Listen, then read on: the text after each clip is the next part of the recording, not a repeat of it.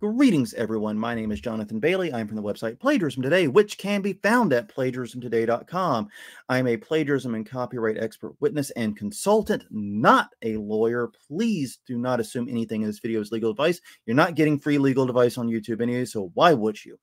But, anyways, though I am not a lawyer, I have testified as an expert witness in multiple trials on related to plagiarism and copyright issues.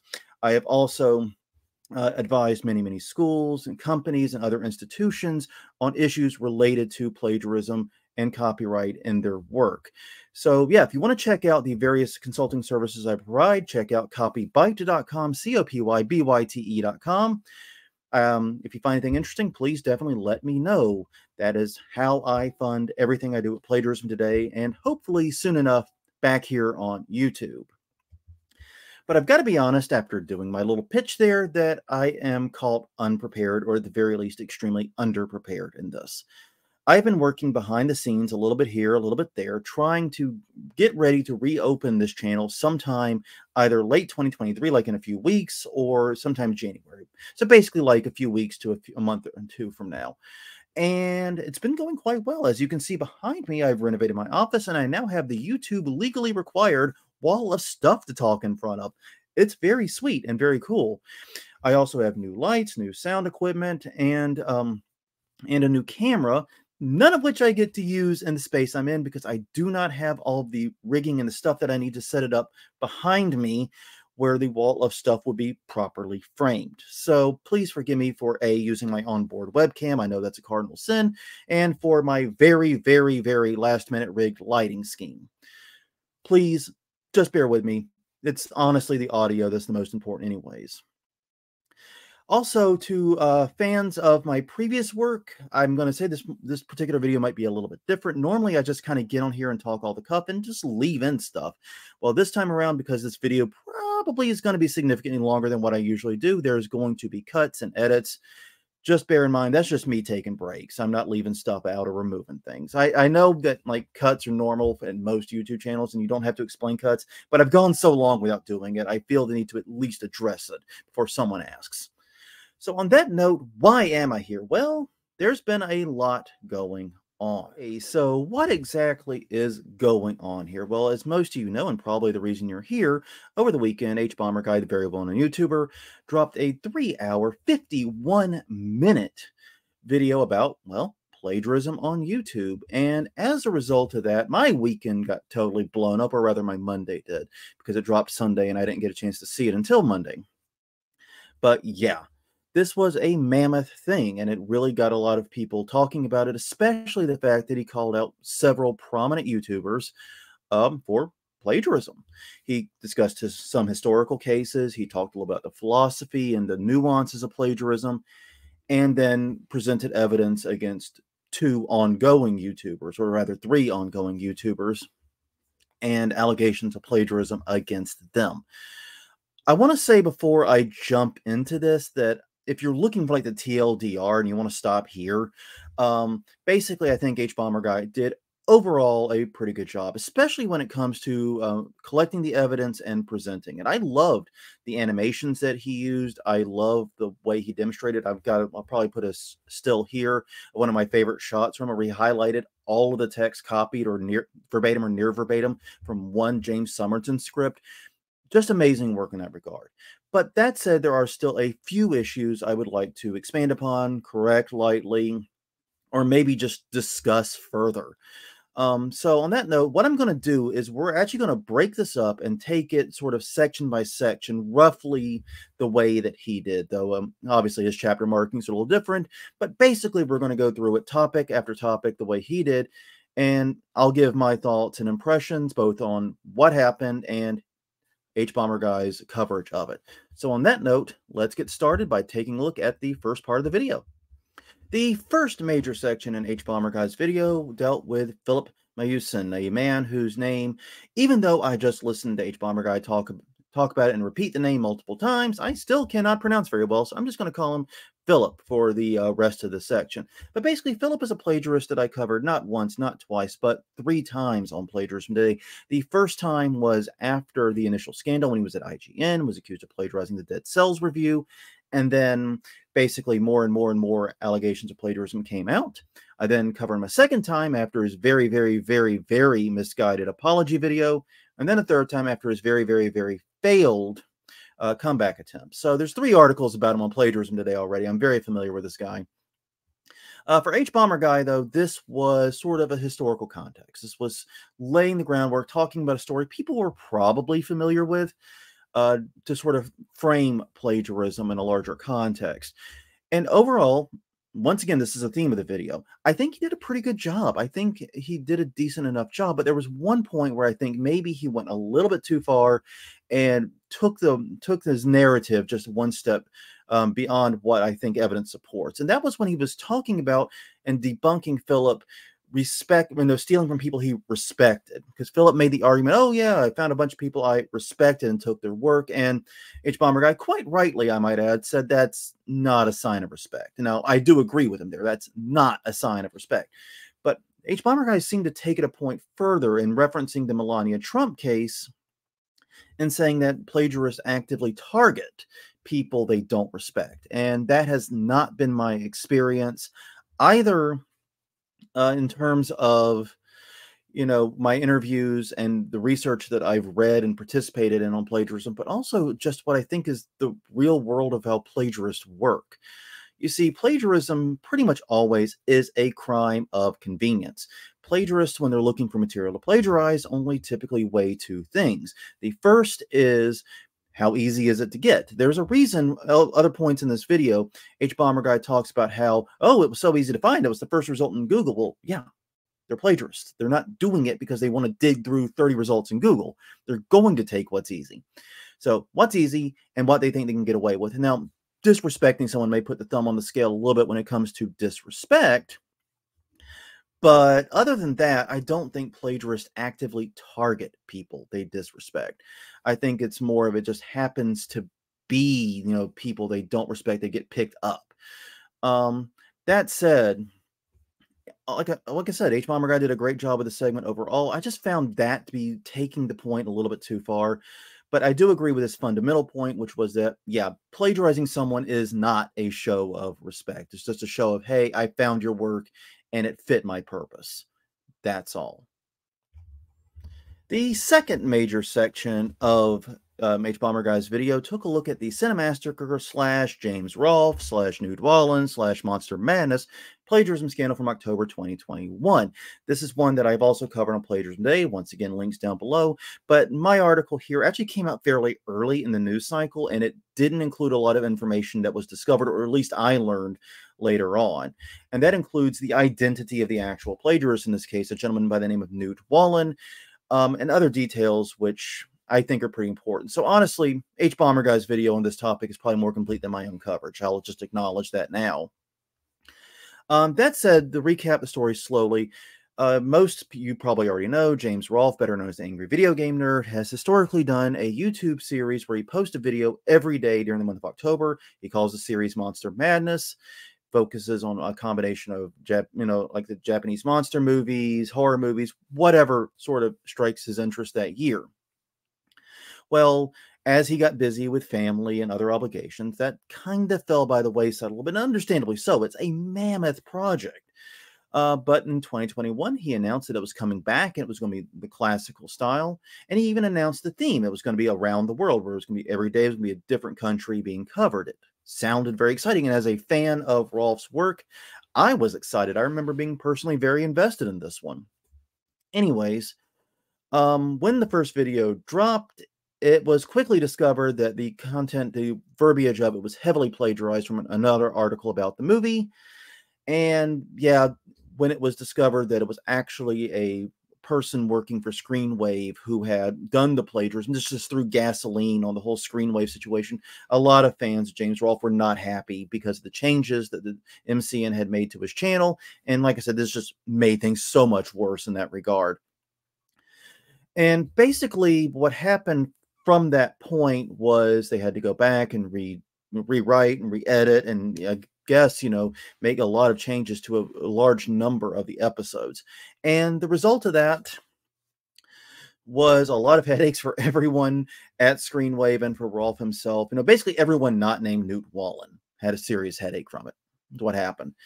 Um, once again, hbomberguy covered it pretty well, but he had made one point that I actually want to expand upon and highlight because it was such a beautiful point. It really deserves more attention, and it's something I'm definitely going to write about soon on plagiarism today because it's something that even I neglect. And that is, he talked about how bad the writing. You see, the plagiarism here wasn't just copy and paste plagiarism. Uh, Newt went through and attempted to edit a lot of the words and rewrite things to make it more his own, supposedly.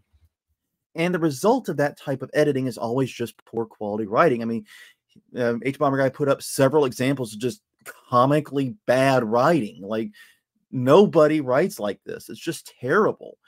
And so, yeah, basically, this is why you know this type of writing isn't just unethical from a plagiarism standpoint. It's also just poor writing.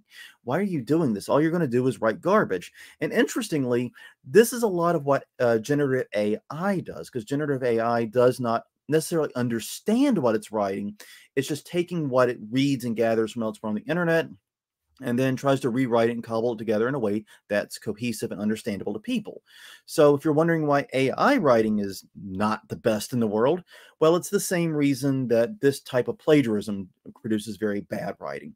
So that's something to think about and something to move on from as we get into the next portion of the video, the third part in this context was iilluminaughtii, the name that I think caused my spell checker to explode when trying to write about this.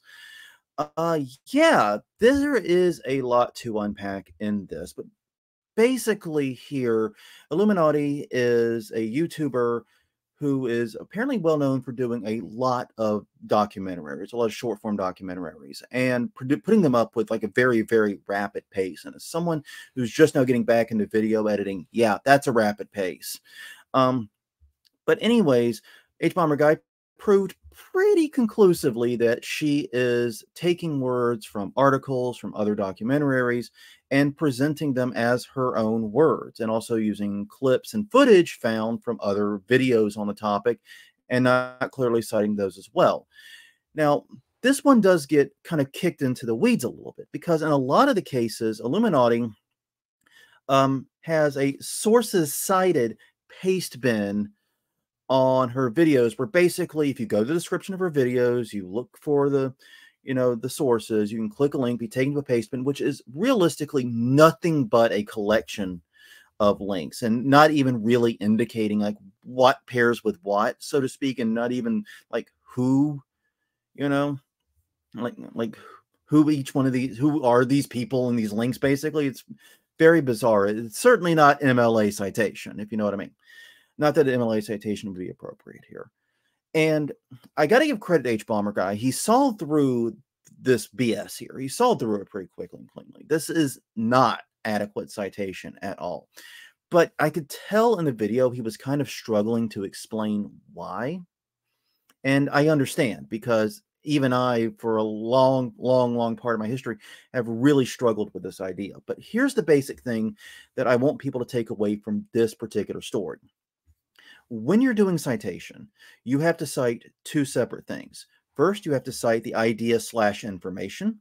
And the second is you have to cite the expression of that idea information. Now, copyright hounds are going, hey, wait, that's awfully familiar. Yeah, because in copyright, we talk about the expression idea dichotomy, the idea expression dichotomy, depending on which way you want to say it basically under copyright law ideas information etc are not protectable under copyright. But the expression of that idea you know the actual part that it's written out or the actual video made from it is. So that's an important thing to understand is that in copyright law only the expression is protectable. But when you're dealing with plagiarism and you're dealing with the ethics of attribution guess what folks um, you have to, to, cite both typically. Now, if you don't use any of the expression, if you do a proper paraphrasing, if you do, you know, you just sort of retell it in your own words, then you don't have to cite the expression, but you still need to cite the idea and information. Now, I'm also going to give some wiggle room here because citation standards do change drastically from medium to medium and also audience to audience. For example, a academic, you know, if you turn in a school essay or something, that's going to have a different citation standard than an informal letter you write to a friend. Um, knowing what citation to use in, in, what environment is tricky and difficult, but that's not particularly the problem here. But I still want to get that out there and be very, very upfront and clear about it. So, anyways, the point I'm trying to make here is that even if I accept that that paste bin link is adequate citation for the idea and information, which I don't for reasons I'll get into, it doesn't cover the um, attribution for the expression. That second half of the equation is completely left open. And that to me is a pretty big problem because she's clearly using other people's words and not quoting it, not indicating that she's you know reading something verbatim or near verbatim. It's very, very frustrating. So as a result, you know, basically it's pretty clear to me that this is not adequate citation for the expression. And I also do believe it's not adequate citation for the information either. And the reason is this citation norms come from the community. This is something that is very, very bottom up. You're going to see citation norms evolve and change in a particular medium, in a particular art form as time goes on. And you look at how other video essayists and other YouTube documentary creators do their citation this isn't the method. They cite it on screen. They put it in a little thing in the corner, you know, they do something like that. They don't, you know, just throw a bunch of random links or a link to a random bunch of links in the description. It's just not how it's done. So, yeah, yeah, it is definitely inadequate citation and definitely plagiarism of the expression. Though, hey, I'm not I'm I'm the expert. Y'all are the community. You get to decide if that is plagiarism of the information as well. That's that's y'all's job, not mine. I just kind of report and cover on it. So, anyways, yeah, he did a great job seeing through the uh, BS, but maybe not as great of a time, uh, not as great of a job in explaining why it's BS. Hopefully, that is something I've been able to help with here. The fourth part of hbomberguy's video is about Internet Historian, another prominent YouTuber, and specifically about a video that Internet Historian did regarding a dude who was stuck in a cave for a very, very long period of time. And this was a story I had not heard about. I also not heard about iilluminaughtii. I forgot to mention that when talking about her. I have no idea why I didn't hear about that story. Um, but I actually know why I didn't hear about this one. And it's when you watch hbomberguy's video, it's like, yeah, nobody knew about it. They, did such a good job keeping this one under wraps. Because basically, what happened with it is he posted a video about the story, and then it got copyright claimed. And most people assumed, understandably so, that this was just regular YouTube copyright tomfoolery. You know, as as as happens from time to time. Um, and that was a, um, a viewpoint the internet historian did not seek to um, you know steer anyone away from. So basically that's what a lot of people thought happened until some of his fans started trying to re-upload the original version of it and then got copyright claims of their own because they found out pretty quickly that it was heavily plagiarized from an article in mental floss magazine. Yeah. Now the thing about this story for me once again, hbomberguy does a great job laying out the evidence, laying out the series of events, and apparently he's gotten some pushback from fans of Internet Historian who are apparently trying to rewrite history and make it look like that original upload wasn't a plagiarism just because he has since re-uploaded it with a lot of text change and apparently with better citations to mental floss. But that's neither here nor there. The original upload is the problem here, and the copyright claim against it was very much deserved um, from the looks of it. So yeah, but anyways, the issue for me here is, is H. Guy says that this is the only uh, thing he can find in internet historians where this has happened, and I am kind of skeptical because he talks elsewhere in the video about how you know if you catch someone plagiarizing odds are they've rolled that dice a few dozen times before and this is just the first time they came up snake eyes type thing he's right that is very very very accurate um, yeah, trust me on that one. It is entirely accurate. If you do catch a student or a, employee plagiarizing, you, the first thing you need to do is go back to the archive and see what else they've done. Um, in this case, though, either H either hbomberguy couldn't find it or he didn't look into it too deeply. It's a little unclear, at least to my ears, what all he did here. Now, I did get an email um, from someone saying there are other incidents in which Internet Historian's done something similar. I have not been able to verify that. I'm going to look into it probably next week. I've got other things I've got to do the rest of this week. I'm actually way behind on client work because of hbomberguy. So mm, screw you, pal. Actually, no, don't. It's been actually kind of fun. But regardless, um, getting back to Internet Historian, he is um, it, it's unclear though what else may have happened in his past and i don't know if there wasn't a thorough investigation. I just find it really really weird that this recent video was so clearly so obviously plagiarized and nothing else could be found and that goes against things that he said elsewhere the hbomberguy said else, elsewhere in his video. So yeah, I think this is going to be the area where further research and more information may be coming out. So watch, you know, this space and other spaces for more information here. I just have a feeling this isn't the last we've heard of the internet historian and plagiarism allegations. And the final section of the video, and the reason hbomberguy says it exists, is this guy, James Somerton, a LGBTQ plus YouTuber who focuses on gay, trans, and related um, presentation in cinema. I had not heard of James Somerton before this video. I had not seen his videos and I had not heard about him being a plagiarist. So this was entirely new to me.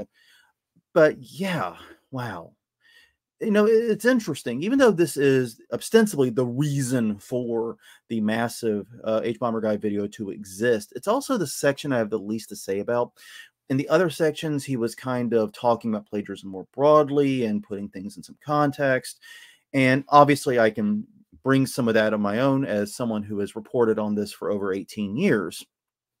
But here, basically, it's just a string of evidence against James Somerton and very compelling evidence, I might add. Um, that screenshot I shared earlier, and editor me is probably sharing right about now. Um, yeah, that was from this section where he highlighted just how much um, from one of Somerton's script was known to be plagiarized verbatim or near verbatim. It's quite shocking. It tells the story. I don't really know how much anyone like me could add. It's all very, very clear. Um, but there was one sort of side story here involving um, involving Somerton's co-author Nick. Uh, Nick Hergott is his name. I think I said that one right, actually. But basically, Nick um, had been James uh, co-author for quite some time, and it was unclear if Nick knew there was plagiarism, if he was involved in the plagiarism, and what's going on. hbomberguy went out of his way to make it clear that he couldn't find anything confirmed to be written by Nick that was plagiarized. But you know, still obviously you don't know what you don't know. And that's fair. You don't know what you don't know. Well, uh, in the aftermath of this video dropping, apparently before the uh, for James Discord got shut down, Nick went on there and, and basically said that he was shocked to learn about the plagiarism and know that he wasn't involved. And this caused a lot of people, according to a Reddit thread um, on the hbomberguy subreddit, to basically show sympathy for Nick, saying that he kind of got screwed here. He was doing good stuff but a lot of that uh, love and a lot of that respect seems to have faded after the Todd in the Shadows video that I mentioned, which puts the factual accuracy of a lot of this content in severe doubt and raises a lot of problems there. So I don't know. I don't know all the details, but it does not appear, at least, that Nick knew about the plagiarism or was involved in it in any meaningful way. So that's good, I guess. But it really does paint an interesting picture of how, you know, being a plagiarist or committing plagiarism doesn't just stain your reputation, it hurts everyone around you. Going back to uh, Filip's story way back at the beginning, when Filip was discovered to be a plagiarist, many outlets, mine included, um, didn't refer to it as the Filip Miucin plagiarism scandal because that's not how it was framed at the time. It was framed as the IGN plagiarism scandal where he was working. Yeah, it wasn't until much later that the focus kind of got tightened onto Filip himself. And that's true here. Uh, James, by being a plagiarist, has not just tainted his own name, not just hurt himself, but anyone he brought into his fold to work with him. Could you, I mean, how would you feel if you were hiring someone and you knew this about James Somerton and you saw that the resume had, oh, they'd worked with James Somerton at some point? You're going to look at that a little weird. You're going to at least ask some pretty difficult questions, I would hope. So, yeah, basically, this is an excellent example of how you harm other people around you when you commit these kinds of ethical missteps and why you shouldn't do it. I mean, I don't feel like I should have to explain why you shouldn't plagiarize, but apparently I sometimes do. So yeah, don't plagiarize. It not just you're not just hurting yourself, you're hurting anyone and pretty much everyone who's helped you in any way. Just saying. So, where does all this leave us? Um yeah, well, since the video has been posted, obviously a lot has been unfolding. One of the big things that's happened is both James Somerton and iilluminaughtii have turned off all comments on their YouTube channels. I can't blame them. They're probably getting flooded with some pretty nasty stuff. Uh, some of it probably very fair, some of it very not fair, but still, that's the nature of YouTube. The comments, I'm pretty sure, have not been very kind. So, yeah, they are getting flooded with that. I've also heard, like I said, I, would heard that James Somerton's uh, Discord was taken down. I cannot been able to confirm what's happened with iilluminaughtii's. Um, I checked Social Blade on both of them since they're the ones currently active and operating. The uh, the Filip one and the Cinemassacre one, those have basically had their resolutions already.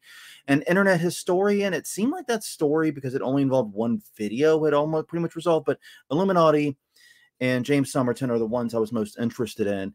Um, in iilluminaughtii's case, her big thing came out back in May, April of May of this year, when she had a tiff with Legal Eagle, which is another thing I didn't discuss during her section, which was basically that you know she accused Legal Eagle of plagiarizing her work because they used several overlapping elements, and that one of their editors had asked how her channel did a specific effect.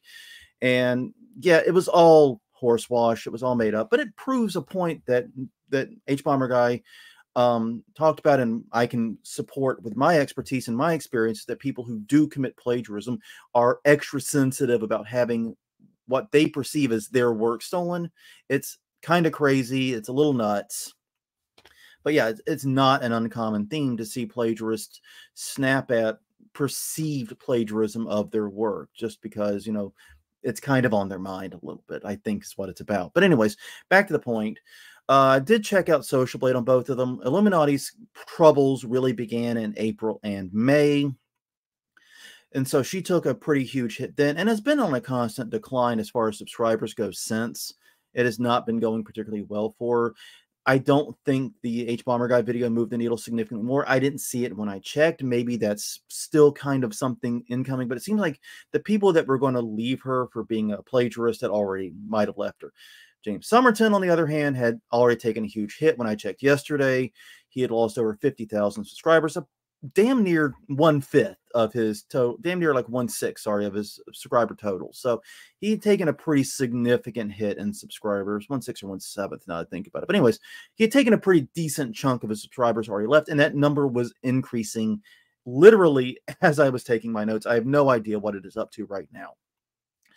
So yeah, what happens next though really is up to all of y'all. Um, while I definitely have a lot I want to say, and this will be another video as well as another article about what the victims of these two YouTubers can and maybe should do. Um, in terms of whether these YouTubers get a second chance or whether this is a career ending blunder for them, that's on your hand. If they can continue to find an audience and continue to sustain themselves off that audience, they will probably do so and we've seen cases where that's happened. Um, we, we you know talked about hmm, you know Filip Miucin where someone where basically he plagiarized, got caught, did not handle it particularly well, and then when he tried to come back was basically had the door shut in his face. But then there are people like, you know, writer and reporter uh, Benny Johnson, who has been caught plagiarizing and committing other journalistic infractions multiple times and continues to find work wherever he wants to, basically. So it's up to the audience. If the audience takes this seriously and doesn't show up for their work again, it's done. It's over. That's their career. It's in the bag. It's over. But if there is that audience and they continue to exploit it, then yeah, they're going to have a career. So uh, that's something I'm going to be watching very closely as time goes on. My hope is that in both of these cases, they just kind of disappear and that's the end of it. I think that's the best thing because it would also serve as a good lesson to others that may be tempted to follow that path. But yeah, all in all, what happens next realistically is up to you and the audiences of those YouTubers in particular. And finally, I'm going to end things today by answering a few frequently asked questions, or rather, questions I've gotten emailed to me, were posted or postulated in a Reddit thread about my article, or have been DM, tweeted, Facebook, whatever at me. Basically, I've seen two questions over and over and over again. So I'm going to take the time to answer them. Um, the first question I've gotten a lot is Did you see a traffic spike to your site when the plagiarism, when hbomberguy's video went live? Um, the honest question, the honest answer there is no, not until I posted my article. I posted my article on Tuesday. His video went live on Sunday. I'm hopefully publishing this on Wednesday. Uh, but yeah, basically, um, after the video went up, I noticed a little bit extra traffic to um, the Cinemassacre article. But remember, I've got three articles about Filip. I've got one about Cinemassacre, and I've got a 2018 article about plagiarism on YouTube more broadly that talks about a lot of the same things. None of those got any additional traffic. The Cinemassacre one got a small amount, and plagiarism today a little bit, but nothing that really sent off alarm bells. I actually found the video of the same way I think everyone did. It just popped up. I'm an H bomb, an hbomberguy subscriber, and it popped up in my recommended when I opened up the YouTube app on my phone. It's really that simple. But no, I did not get an initial traffic spike. Now, once I published my article, it's been gangbusters. Then we get I get pretty good traffic at PT, and people are like, "Oh, it's such an out of the way site. No one's going to read this." And thousands of people per day do. It's not big, it's not huge, but it's sustained a consulting business and other things for, like I said, about 18 years now. So it's it's doing well enough on traffic. But yeah, we're currently at a rate where I think we're about five or six times normal traffic. Luckily, I have a great content delivery network in bunny.net, and I have a great hosting provider in the form of Cloudways, two beefy boys teaming together to make sure the site is running smooth and that you can read the article if you so choose, which I encourage you to do.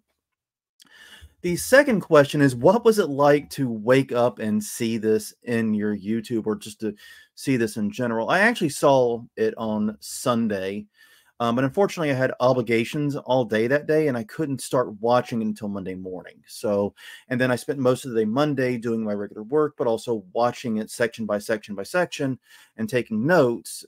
And I was able to finish it pretty much by that afternoon, evening, with plans of writing an article about it on Tuesday, which what I did. Um, as far as what it's like, I've got to be honest with you. I've been running plagiarism today for 18 years, and I don't want this to sound like I'm minimizing the size of this or I'm minimizing the work of hbomberguy broadly. I'm not, but I have been through a lot of these types of things, and this just isn't the craziest one. I'm I'm sorry, it's kind of crazy. It's it is a little bit crazy, but it's just not the craziest incident. Um, I've dealt with. I think the craziest would have to be the Melania Trump thing from 2016, which hbomberguy did touch on. Basically, with that, I learned about it the same way everyone else did via CNN or I can't remember which news network. You sent me the push alert, but I got a push alert literally while I was playing Pokemon Go.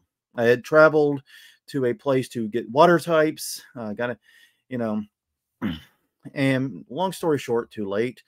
Um, I got the alert while I was out and about, packed up, went home, started work on the article for it. And the next day, um, the day after I published my article, I literally spent, I think, 16 straight hours bouncing from news interview to news interview between newspapers, blogs, radio stations. And it culminated in me appearing on Dr. Drew head, Dr. Drew's headline news show that he had at the time. It was nuts. It was easily the longest day that I've had in my life, and I can't say I got paid for any of it. but it was incredibly long, incredibly tiring. And that was an absolutely insane story. And also recently, um, the Jimmy Bello case, where the author plagiarized my site when writing a plagiarism apology uh, letter, not making that up. That was crazy too. That ended me up on NPR's Wait, Wait, Don't Tell Me. Um, a lot of nut stuff happened with that. Uh, so, yeah, this has been crazy. Don't get it wrong but it's also just not the craziest I've seen in 18 years. This is this I think is a good thing though. I mean, this type of attention to a very real ethical issue facing YouTube I think is a positive thing. And my hope is that other YouTubers watch this video and learn from it and become better writers from it. I think that's the best and the ideal goal here is to make better YouTubers down the line. Well, on that note, everyone, once again, my name is Jonathan Bailey. I am from the website Plagiarism Today. Please check out uh, my site. Also, you can catch me at copybyte.com. That is my consulting site where I help people with plagiarism issues, serve as an expert witness, and also do a bunch of other functions related to copyright and plagiarism issues. Check out that site as well. It's C-O-P-Y-B-Y-T-E.com. Until next time, though, this is Jonathan Bailey signing off.